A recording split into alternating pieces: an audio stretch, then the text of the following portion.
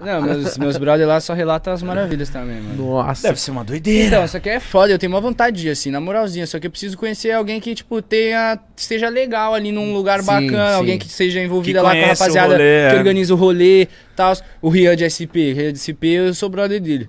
E aí ele já falou pra colar em vários shows, tô louco pra colar Tem com coragem de ir na revoada com o Rian? Tem, ah, tenho namorado, né? Não, mas a revoada não necessariamente de mulheres. Ah, porra, como assim? Ó, ó, óbvio, mano. É que a vez que eu, que eu fui lá na casa dele, ele tava eu e mais dois brother.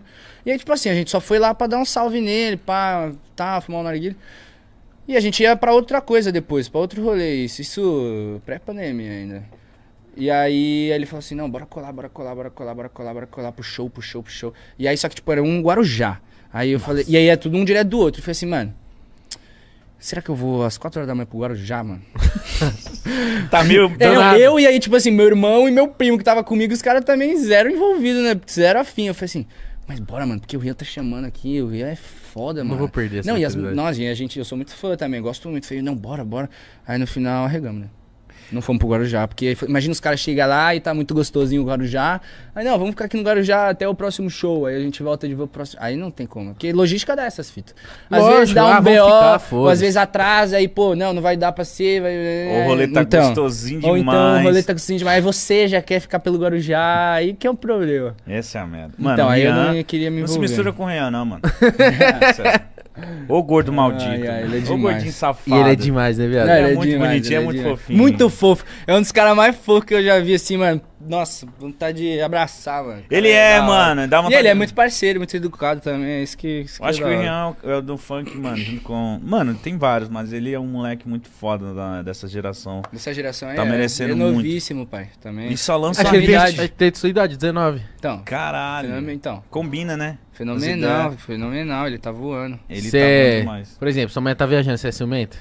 Eu, se É. minha mulher tá viajando.